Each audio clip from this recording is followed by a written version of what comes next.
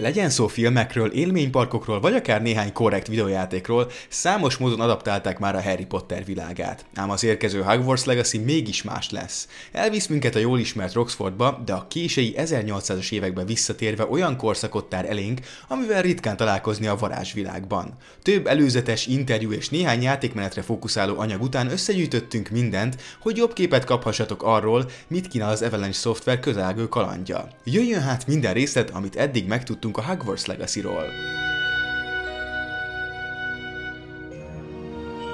Sok plegyka, sutyorgás és egy bevásárlóközpontos fókuszcsoportból származó szivárgás után, ami vagyok be nagyon fura volt, 2020. szeptember 16-án mutatták be hivatalosan a Hogwarts Legacy-t a PS5 nagy prezentációján. A bejelentő trailer rengeteg mindenről lerántotta a leplet, beleértve a környezetet, az időszakot, a tanórákat, az ellenfél típusokat és a 2021-re tervezett megjelenést is. Hops! Habár hivatalosan csak a PS5 bemutatón mutatta meg magát a Hogwarts Legacy, már 2018-ban hallhattunk róla, amikor egy Webdis Bro névre hallgató Reddit felhasználó víziletett gameplay jeleneteket szivárogtatott ki, valamint egy szinopszist, ami végül igen pontosnak bizonyult. A videónak gyorsan nyoma veszett, de a látottak elég hihetőek voltak ahhoz, hogy sokakat meggyőzzenek a valódiságukról. 2020. szeptemberében aztán az ismeretlen Harry Potter játék Hogwarts Legacy-ként tért vissza a köztudatba. Annak ellenére, hogy egy PlayStation 5-ös bemutatón mutatkozott be, hamar kiderült, hogy a Hogwarts Legacy megjelenik Xbox Series S-re, X-re, PS4-re, Xbox One-ra és PC-re is, aztán 2022 márciusában még Nintendo Switch-re is bejelentették. Ugyanezen év decemberében a játék Twitter fiókja viszont arról tájékoztatott, hogy a jelen generációs verzió 2023. február 10-én, a PS4-es és Xbox One-os változatok április 4-én, a Switch-es változat pedig végül július 25-én jelenik meg. Mindezt azért, hogy csiszolhassanak még a dolgokon. A Hogwarts Legacy a Roxfordban játszódik, a 19. század végének környékén, az eddigi bemutatókban pedig sok más ismerős helyszínt is láthattunk már, többek között a Roxmores falucskát, a házak klub helyiségeit, a nagy termet, a szükségszobáját, egy csomó tantermet, és még a kastélyt körbeölelő tágas környéket is. Sok teljesen új területet is megmutattak a trélerek, és ha bár még nem tudni milyen messze kóborolhatunk el az iskolától, a fejlesztők szerint méretes területeket fedezhetünk majd fel. Mivel a sztori sokkal korábban játszódik az általunk megismert világnál, nem fogunk sok ismerős karakterrel találkozni, de azért az iskola több szelleme is visszatér kísérteni. Szintén beköszönnek ismerős fajok és lények, például koboldok, házimanok és még az inferusok is. Játékosként létrehozhatjuk saját karakterünket, egy ötödéves diákot, aki új a Roxfordban és képes egy a varázsvilágban elrejtett ősi, nagyon erős mágiát irányítani. Persze jók és rosszak egyaránt meg akarják kaparintani ezt az erőt, szóval mi felelünk azért, nehogy rossz kezekbe kerüljön az, miközben a többiektől lemaradva igyekszünk lépést tartani a tananyaggal.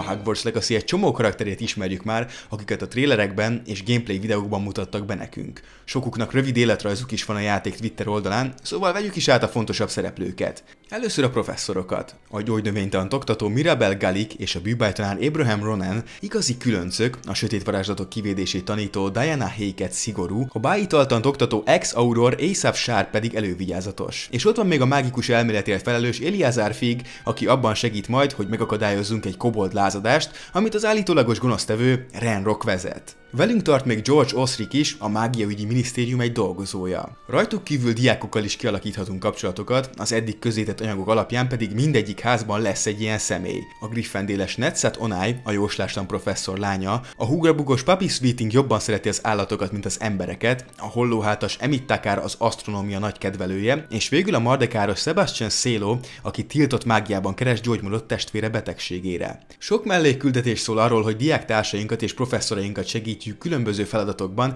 de egyelőre egy rejtély mennyire mélyek ezek a kapcsolatok, vagy milyen hatással lesznek a fősztorira. Egy korábbi élő adás viszont legalább azt megerősítette, hogy a mellékküldetésekkel új varázslatokra és egyéb más területeken hasznos képességekre tehetünk szert.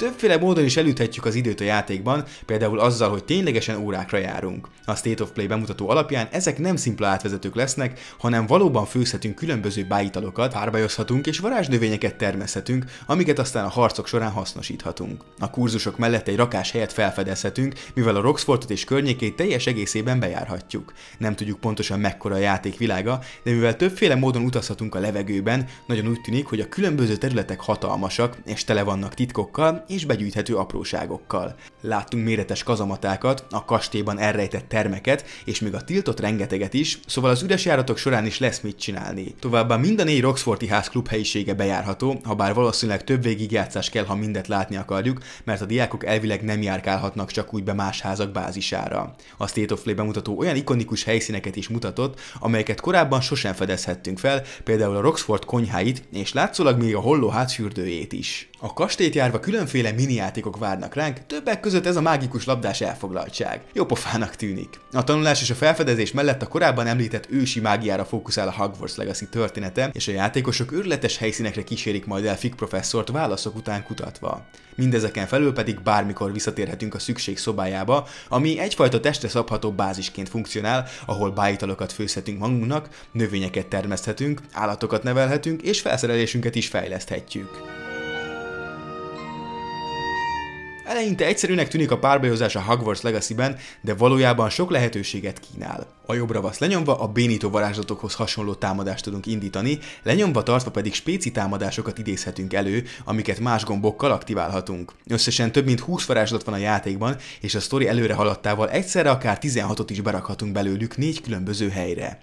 Ezek között vannak szimplább varázsigék, mint az Invito, a begyűjtő bűbáj, de komolyabb is, amivel villámot idézhetünk elő. Mindegyiknek saját visszatöltődési ideje van, nehogy csak egyfajtával lövöldözzünk, de a szintlépésektől függően változtathatunk ezeken.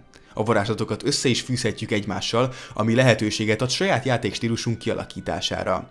A Descendóval föltöz csaphatjuk a lebegő lényeket, az erejgombbal pedig környezeti tárgyakat vághatunk ellenfeleinkhez. Mivel más ugyanazokat a varázslatokat eregető boszorkányok és varázslók is lesznek az ellenlábasaink között, fontos, hogy a pajzsukat a megfelelő színű varázsigével törjük meg.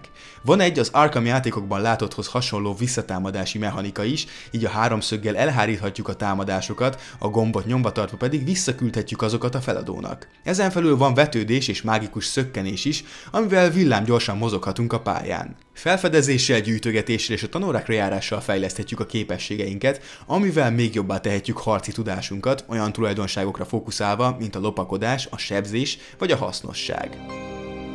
A Hogwarts Legacy jó úton halad afelé, hogy egy igazi nagyágyú legyen belőle, tele szereplőkkel, felfedezésre váró helyekkel, változatos harccal és egyebekkel. Még várnunk kell arra, hogy kiderüljön, mi sül ki ebből az egészből, amikor a játék megjelenik PS5-re, Xbox Series X-re és S-re, illetve PC-re február 10-én és később más konzolokra is, de addig is osszátok meg velünk a kommentek között, hogy ti mit vártok a legjobban a Hogwarts Legacy kapcsán. És ha már így összegyűltünk, nézzetek szét a csatornánkon más érdekes tartalmakért. Legközelebb újra találkozunk, szia! Sziasztok!